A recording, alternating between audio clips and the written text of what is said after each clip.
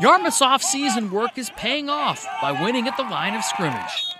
The whole team has been in the weight room.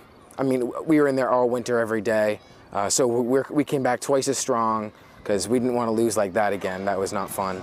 After one and seven season a year ago, the Clippers have already surpassed last year's win total. But one of Yarmouth's captains is intent on expectations being day to day. I have expectations for my team and, and for them to show their work ethic and, and dedication to our, our team as a family at practice. Fellas, I've been looking at the game from from the other night, and after this touchdown, Mikey, you're pointing at me. Are you taunting me? Are you calling me out here? Is that how I get treated for putting you on TV?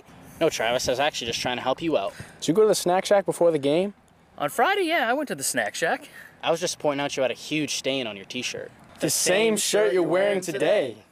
We can be a really great team. I mean, we're already on the way to doing it. Uh, last year was the start of it, and we're just building off of that momentum. Gray lost in a shootout to Morse a week ago, but is confident heading into this matchup with an offense that's built for a shootout. This is the best team I've been a part of high school wise, and I think our high school program's ever seen, and ever probably. So we have a really good chance. Gray-New Gloucester's always been known for losing games, not winning a lot, and to be able to, uh, to play this at, at this level, it's going to mean a lot to Gray-New Gloucester.